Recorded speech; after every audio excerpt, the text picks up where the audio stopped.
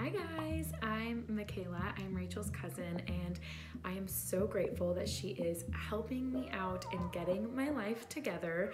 Um, to tell you guys a little bit about me, I work from home as a blogger, and I have two little kids, ages one and four, and I just need a space in my house that I can dedicate to me, where I can like come in, close the door, like get my stuff done and be efficient and feel good in my space because um, like doing my work on my couch with my kids like climbing on my shoulders it's not gonna it's not gonna work anymore so i am so excited to see what she comes up with and yeah I cannot wait I'm to show you how to tackle this over a weekend's time. Oh my gosh, sorry guys. I got Invisalign and I have to like really reassess how I speak.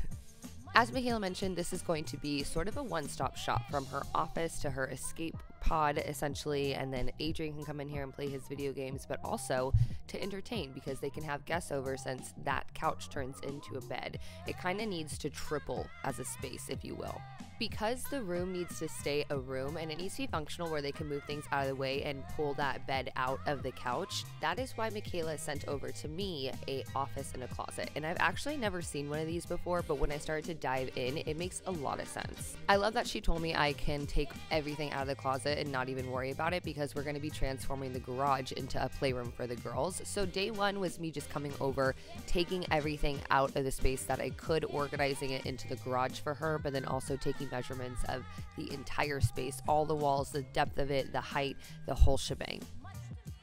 I like taking the day to measure to really step back and kind of dive into the space once I get somewhere where I can sit. I'm really old school and I write it out on a piece of paper and just start to sketch my ideas right onto it.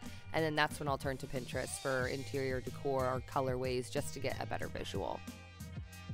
I ended up coming back later that evening because Mikayla and her family went to Big Bear, so I could just dive in and do a little bit of demo without disturbing the bebes. I took the doors off to open up the space, and I know that sounds kind of weird because you think like mirrors would make the room look bigger, but in this case, since they were so large and in charge, it kind of just made the room feel very closed off and small.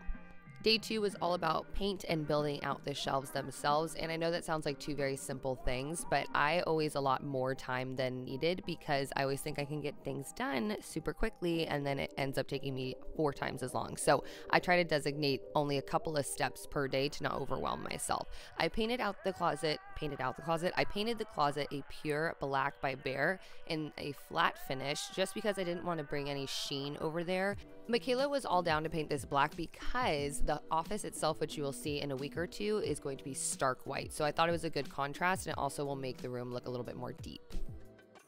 For the shelving and the desk portion, I'm doing my floating shelves from my laundry room makeover. I will link it for you guys, but I'm doing it a little bit better because I learned a little bit more about wood. This time around, I'm doing three quarter inch thick plywood just because it is a working space and I liked the heavier duty feeling of it versus like that thin laminate I used last time. For the framing itself, I'm using 2x2s. No need to get crazy and use 2x4s. That's gonna make the desk and the shelf be thicker than I would like. I like to have my wood cut for the shelves prior to making the frame because I need a very hands-on like I am cutting this frame down correctly. You will see right here that I did it wrong. I'm measuring it thinking I cut all my pieces right, but in fact that frame is 24 inches deep where my desk itself is going to be 20 inches deep by 75. So always double check your measurements. Make sure you're accounting for the thickness of your wood that you are using because say I were to have made this 20 by 75 and went to put my plywood on top of it, the plywood itself would have been cut too small because I didn't, you know, compensate.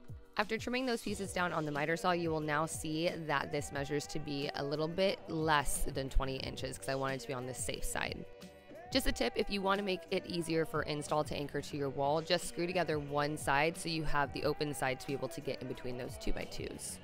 To finish up day two, I just sealed up the wood with a couple of coats of satin clear poly and started to listen to today's sponsor because that's what keeps me going through these types of projects. So thank you Audible for sponsoring today's video. That time of year when everyone is traveling or running around and getting thoughtful gifts or hello, in my case, room makeovers for the people that they care about. So think about giving yourself the gift of an Audible membership. Now is the best time to do it with a special offer of 53% off your first three months. You have an access to an unbeatable selection of audiobooks, including bestsellers, motivation, fiction, mysteries, thrillers, memoirs, and much more. You can choose three titles every single month, one audiobook, and two exclusive Audible originals you can't hear anywhere else. You can listen on any device, anytime, anywhere with the Audible app. It's great while commuting at the gym or during your holiday travels. In my case, again, room makeovers for people that I love. Now, my boyfriend is not sponsored by Audible, but he always throws out different suggestions of audiobooks that he's currently listening to and he's in love with. And I decided to take him up on one of the suggestions, which was Talking to Strangers by Malcolm Gladwell. And I have to say, it kept my interest the entire time. And it was definitely new material to me, but it was like an audiobook that was married with a podcast. I definitely recommend it. Right now, if you want to join me for a limited time, you can actually get three months of Audible for just $6.95 a month. That's more than half off regular price. So you can choose one audiobook and two audiobook originals by visiting audible.com slash Metz or texting M-E-T-Z, that's my last name, Metz, to 500 500. Do yourself a favor and give yourself the gift of listening. For more, go to audible.com slash M-E-T-Z or again, you can text M-E-T-Z to 500 500.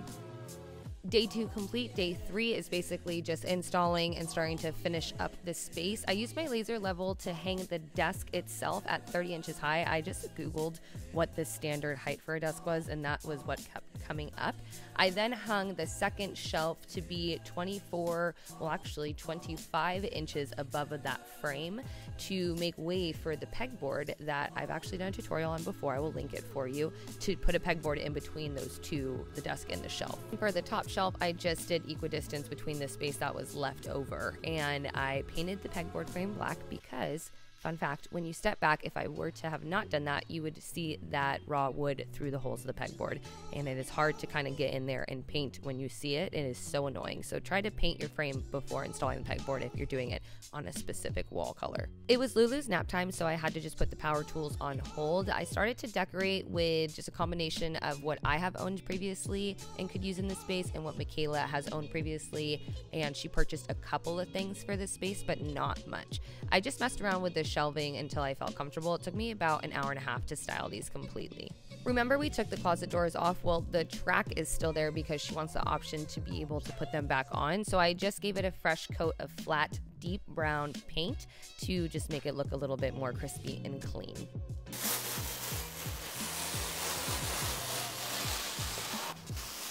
Lulu woke up, so I was able to just kind of power through the rest of it by installing the desktop or whatever else like shelving cover that I had left. I pre-drilled holes to make sure that the nails could be flush to the wood and I can fill it with wood putty so you couldn't see them. But I didn't want to nail gun the desktop in. I don't know why, I just was feeling like I just wanted to make sure it just stayed in place. Not that a nail gun wouldn't suffice for here. I just, I don't know why I was tripping so hard.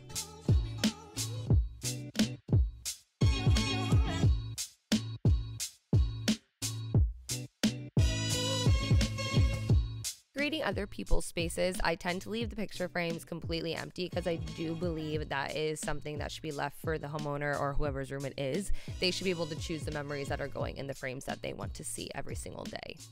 I listed where I got every single piece of decor. I bought this. This is like literally the only thing I bought for this space and these two fake plants from Home Goods. This cable was not an issue. I just pushed it up into the ceiling and then used these like wire holders and screwed it directly into the ceiling to make it flush. These will disappear when we hang up the drapes. As far as the pegboard, she didn't have anything to hang up on it yet, so I just put these pegboard accessories in that amber glass that used to be a candle so she can use it whenever she pleases. I didn't mind for you to see the edge of the plywood. I actually liked the straight lines of it because the drapes ended up having straight long lines in it as well. I just nail gunned it to the front of the shelves and I didn't add a finish to the front of these because I wanted to keep them super flat, but the tops of the desk and the shelves are protected. I filled the nail holes with wood putty and just wiped it away. The last and final touch was to hang up the drapes, and I'm actually using the same exact rod from the rod where I demoed, believe it or not, because you can just grab these curtain rod ends that are like $2. They're wood and they're at Home Depot. Fun fact is Mikayla was actually out shopping for a couple of last minute needs for the space while I was finishing it up, like these drapes, because the original drapes she wanted there were actually too short. They need to be 96 inches long, but they were only 84. She also picked up a couple of warmer orange accents from World Market, like the chair and the vases you'll see in the after, which I've linked everything I can down below for you. Are you ready? Yes. Okay, walk in. Okay. Okay, ready? Yes. oh my god. Are you kidding me right now? Do you love? Like, what are your thoughts? I can't. Why? It is amazing. Babe, come here. Oh my And you can obviously clean it up and everything, I but like, cannot. You can remove any decor or whatever. The pegboard's empty, but it has a picture oh my hanging there. gosh. I am obsessed with it. Okay, ready? Your reaction. Featuring your arms. Wow. Doesn't it look so good? Amazing. You are literally a genius. Not even close. You told me what you wanted. and I No, like holy shit. If you don't mind me, I'm Sit. Gonna work. did. Like literally your own space. and these are so perfect. And you can close it too, but I like the black kind of hooking them open. But if you wanted to, like when you have guests, it goes all the way across so you can pull them completely shut. This is insane. I am just stunned right What do you think? Isn't it so beautiful? Do you love? Look at it, baby. Gosh, I'm just seriously obsessed. Mom, Rachel just finished. Rachel just finished my closet. Do you want to see it? so freaking good. Okay, are you ready? Isn't that? Isn't it so good?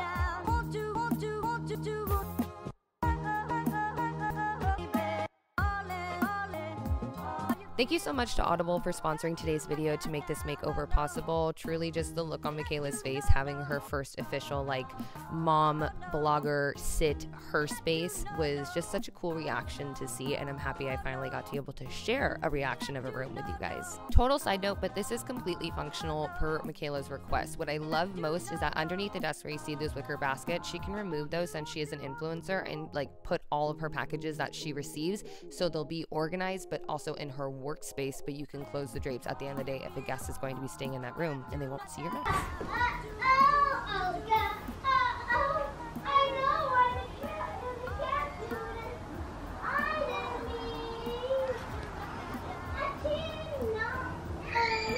This is a huge transformation, and I only spent about 180 bucks at the end of the day, which is absolutely insane. From owning previous decor to utilizing some lumber I had on hand, this project is not only affordable but doable over weekend for any of you guys.